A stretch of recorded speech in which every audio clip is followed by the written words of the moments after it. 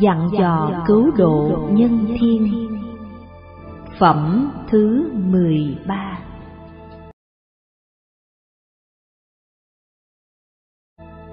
Đức Phật giao phó. Lúc đó Đức Thế Tôn giơ cánh tay sắc vàng xoa đảnh Ngài Địa Tạng Đại Bồ Tát mà bảo rằng Địa Tạng, Địa Tạng, thần lực của ông không thể nghĩ bàn, đức từ bi của ông không thể nghĩ bàn, trí huệ của ông không thể nghĩ bàn.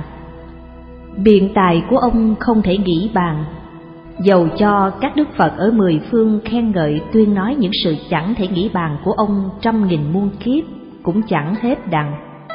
Này địa tạng, địa tạng, ông nên nhớ hôm nay ta ở trong cung trời đao lợi, nơi pháp hội lớn có trăm nghìn muôn ức bất khả thuyết, bất khả thuyết tất cả các đức Phật, các vị Bồ Tát, các hàng trời, rồng, tám bộ chúng đây, một lần nữa đem các hàng chúng sinh, những kẻ ở trong nhà lửa chưa ra khỏi ba cõi mà giao phó cho ông.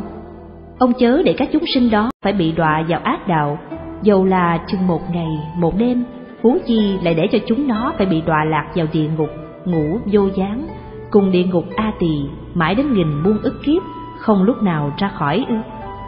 đây địa tạng, tâm tính của chúng sinh cõi diêm phù đề không định, phần đông đều quen theo thói ác, thoảng hoặc có người phát tâm lành, nhưng rồi không bao lâu liền thối thức, còn dư duyên ác lại luôn luôn tăng trưởng. Cũng vì lẽ đó, nên ta phải chia thân này ra trăm nghìn ức để hóa độ, thuận theo căn tính của chúng nó, hầu làm cho chúng nó được giải thoát. Này địa tạng, hôm nay ta ân cần đem chúng trời người giao phó cho ông. Trong đời sau, như có hàng trời người cùng thiện nam thiện nữ nào trồng chút ít căn lành ở trong Phật Pháp, chừng bằng sợi lông, mẩy trần, hồ cát, giọt nước, thời ông nên dùng đạo lực của ông ủng hộ người đó, làm cho người đó tu tập lần lần đạo hạnh vô thượng, chớ để họ thối thất. Lại vậy nữa, này Địa Tạng Bồ Tát, trong đời sau, hoặc có trời hay người nào phải theo nghiệp mà thọ báo bị đọa vào chốn ác đạo. Đến khi bị đọa vào ác đạo, vừa bước đến cửa ngục, những chúng sinh đó nếu có thể niệm đặng danh hiệu của Đức Phật hay danh hiệu của một vị Bồ Tát, cùng một câu một kệ kinh điển đại thừa, ông nên dùng thần lực của ông tìm phương chức cứu vớt các chúng sinh đó.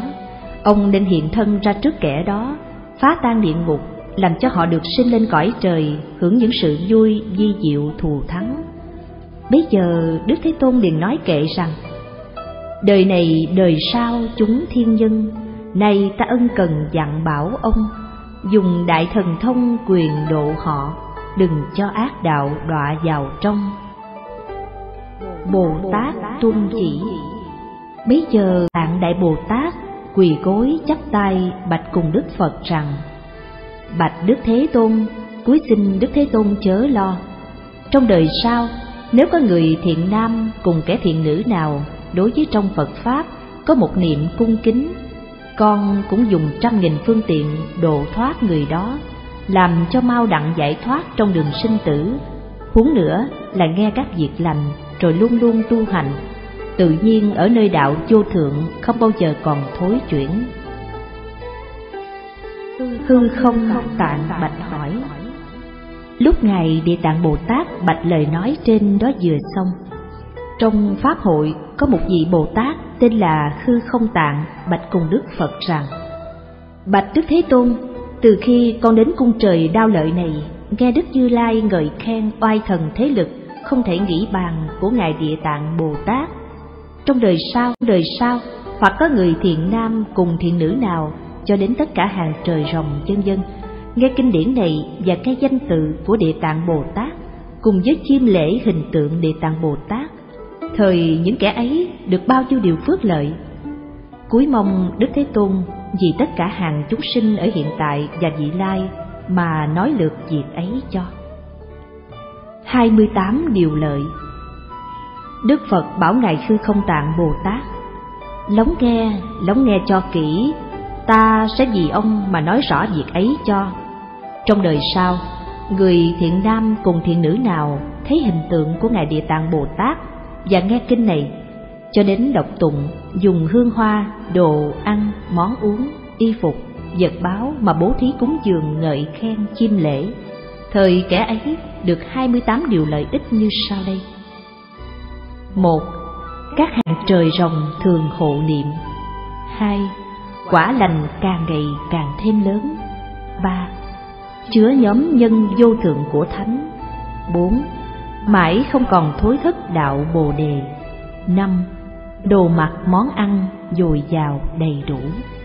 sáu, Những bệnh tật không đến nơi thân bảy, Khỏi những tai nạn về lửa và nước tám, Không có bị hại vì trộm cướp chín, Người khác thấy đến sinh lòng cung kính 10.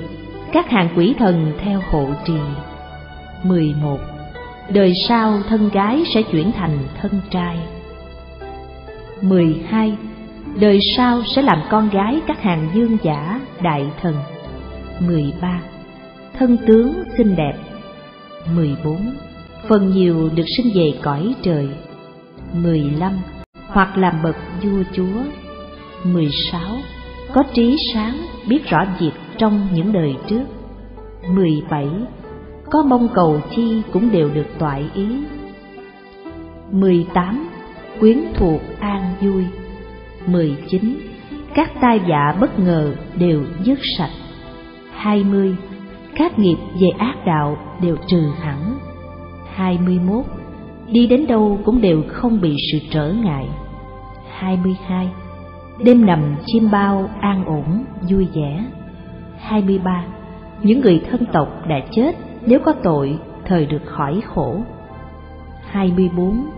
Nếu về đời trước có phước thời được thọ sinh về cõi vui sướng 25. Các bậc thánh ngợi khen 26. Căn tính lanh lợi thông minh 27. Giàu lòng từ mẫn 28.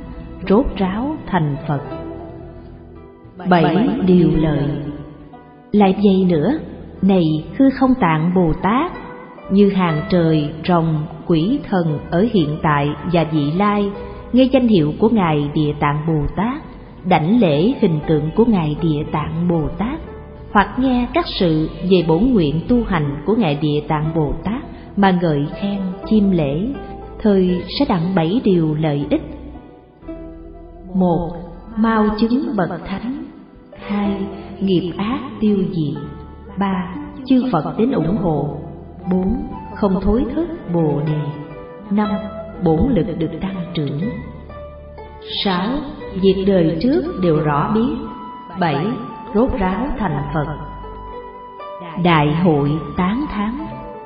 Bấy giờ, bất khả thuyết, tất cả các đức Phật và Đại Bồ Tát cùng tám bộ chúng trời rồng ở mười phương đến dự pháp hội đó nghe Đức Thích Ca Mâu Ni Phật ngợi khen tuyên bày sức oai thần lớn chẳng thể nghĩ bàn của ngài Địa Tạng Bồ Tát đều khen là việc chưa từng có. Lúc đó trời đao lợi rưới vô lượng hương hoa, thiên y, chuỗi ngọc để cúng dường Đức Thích Ca Mâu Ni Phật và Địa Tạng Bồ Tát xong rồi. Tất cả đại chúng trong Pháp hội đều lại chiêm lễ chắp tay mà lui ra.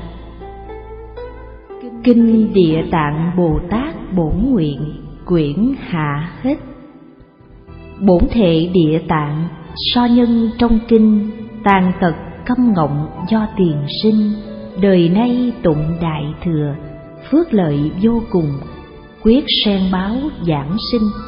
Nam nam thường thường trụ thập thập phương tăng. Nam nam mô thường thường trụ thập thập phương tăng. Nam nam thường thường trụ thập thập phương tăng nam mô đại đại nguyện địa tạng như bồ tát ma ha tát. Nam Mô Đại Nguyện Địa Tạng Dương Bồ Tát Ma Ha Tát. Nam Mô Đại Đại Nguyện Địa Tạng Dương Bồ Tát Ma Ha Tát. Đao lợi Thế Tôn nói Pháp màu Địa tạng công hạnh rất rộng sâu Thánh giáo mãi truyền sao chẳng ngớt. Khắp lợi trời người khỏi khổ sầu Trời Atula và xoa thảy. Đến nghe Pháp đó nên chí tâm, ủng hộ Phật Pháp khiến thường còn. Mỗi vị siêng tu lời Phật dạy, bao nhiêu người nghe đến chốn này, hoặc trên đất liền hoặc hư không, thường đối với người đời sinh từ tâm. Ngày đêm tự mình nương pháp ở nguyện các thế giới thường an ổn phước trí vô biên lợi quần sinh.